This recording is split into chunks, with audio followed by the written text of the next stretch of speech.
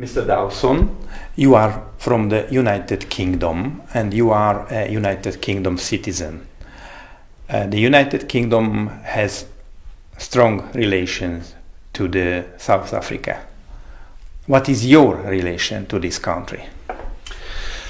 Well, being uh, British, uh, we have a great affinity with South Africa. People often think it's just a Boer country, but no, there's a lot of British people went there. And I have cousins who, who have lived in South Africa for 30, 35 years.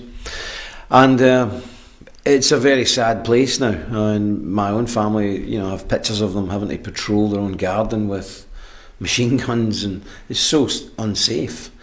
Um, and I'm ashamed uh, as a British citizen that our government has made it so difficult for South Africans to move and come to Britain. We seem to have our doors open for everybody in the world.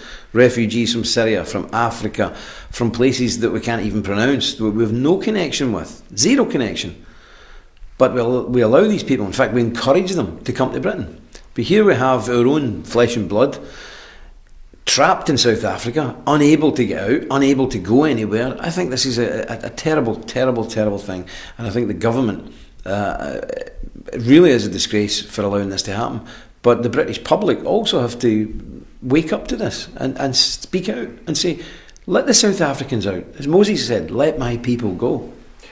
Mr. Dowson, you belong to the Presbyterian Church in the UK. How do you feel as a member of the Presbyterian Church towards South Africa people, towards Boers? Well, I, you know, obviously, I, I, don't. I think we need to put our cards on the table, and we have to nail our colours to the mast. These are my fellow Protestants, Calvinists, and I would say to church leaders in Britain, Church of England, Church of Ireland, Presbyterian Church, you do not have the option it is a holy obligation upon you, a directive from God to protect your own people. And that means all Christian people, but especially those of your own denomination. How can these church leaders ignore the plight of the Boers? You know, for years in England, we've seen every church leader under the sun, especially the left wing ones, on the street end apartheid, end apartheid. Apartheid never ended, it just reversed.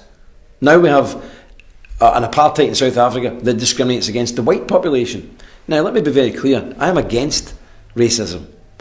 God created all human beings and He made people in different colours and different shades. Why did He do it? I have no idea. Do I care? No. Judging a man because of the colour of his skin is ludicrous. Not only that, it's ungodly, it's sinful. So, just as I was totally against apartheid against the black population, I am equally opposed against the against the party, against the white population. But where are all these church leaders? Where are all the liberals? Where are all the MPs on the streets of London saying end apartheid? Let's let end apartheid, all apartheid, anti-black, anti-white. Let's finish it all. Uh, in the modern world, we use a very special term, which is racism.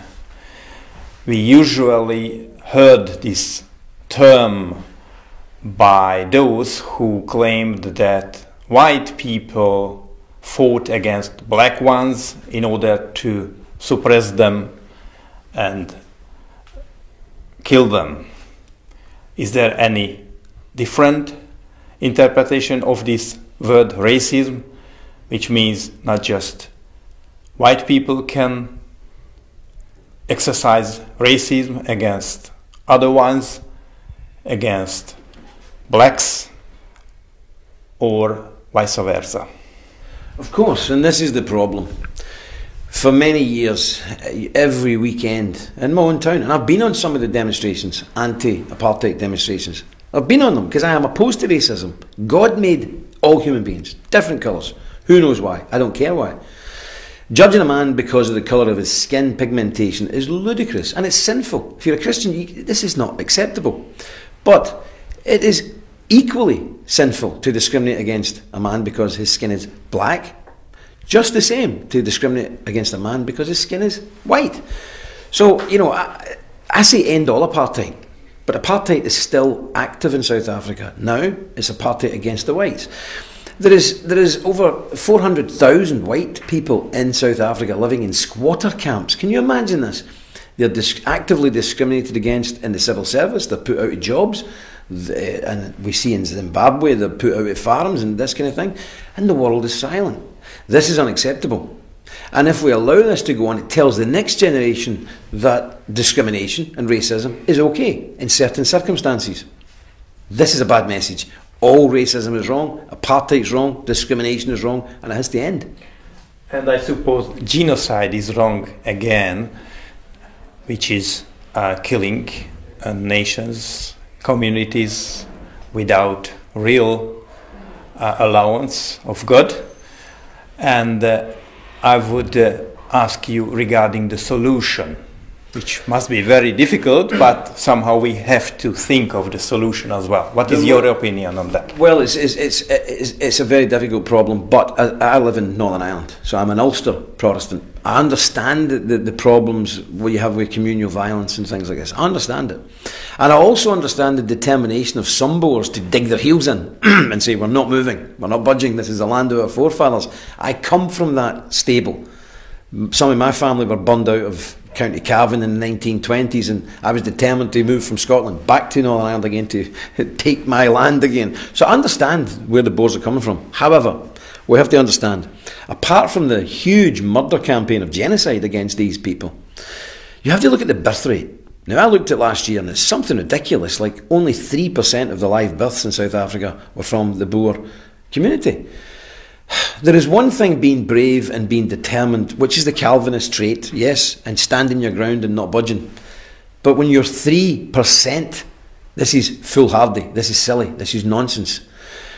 As Christians, our duty is to make sure our people, our children, our grandchildren uh, have a safe environment to flourish, to breed, to have children, to have families of their own, and to have a good life and to worship God in freedom and peace.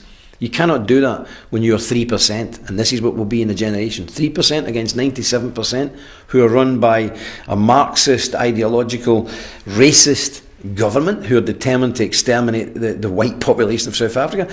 It, this, this now becomes foolhardy to stay in this situation. And, you know, to be critical of the Boers, I have spoke to some Boers who say, we will not move, we never move. And I said, How do you think you got there in the first place? You moved from Europe because of persecution to a new land. Now the persecution is there. There is no shame. There is no dishonour in get hitching your wagons and moving again. And I believe the Boers need a safe haven like Central Europe. Hungary is ideal because it's got a large Calvinist population and the Catholic population is very friendly with the Calvinists. Everybody works together.